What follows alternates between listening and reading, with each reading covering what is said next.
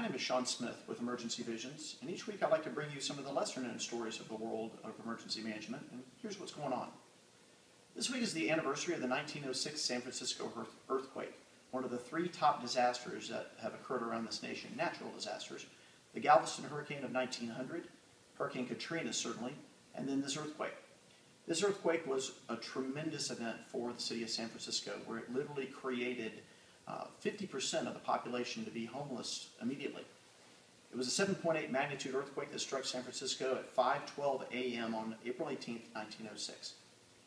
And that immediately created tremendous fissures through the ground, buckling of the streets, uh, lots of fires. In fact, the tremendous damage that occurred from the earthquake wasn't just about the falling buildings, but of course the subsequent fires that occurred over several days through San Francisco.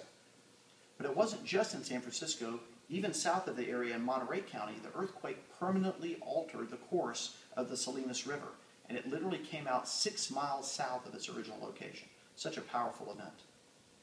Over 3,000 people died during this event, and again, almost over half the population, 250,000, were homeless immediately. And in fact, two years after the event, there were still tent cities uh, and folks living in tents in the San Francisco Bay Area.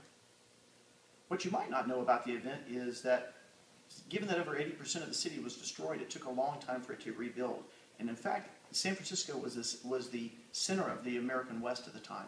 And because of this earthquake and the amount of time it took to rebuild, everything shifted south, and Los Angeles became the gateway over to Asia and the, and the Far East. Could this happen again? A 7.8 magnitude earthquake? Sure it can. Look at the map in terms of the U.S. Geological Survey. Certainly could happen in California, but also in the Madrid Fault in the center of the section where the buildings aren't built earthquake code. So if this event occurs, are you ready?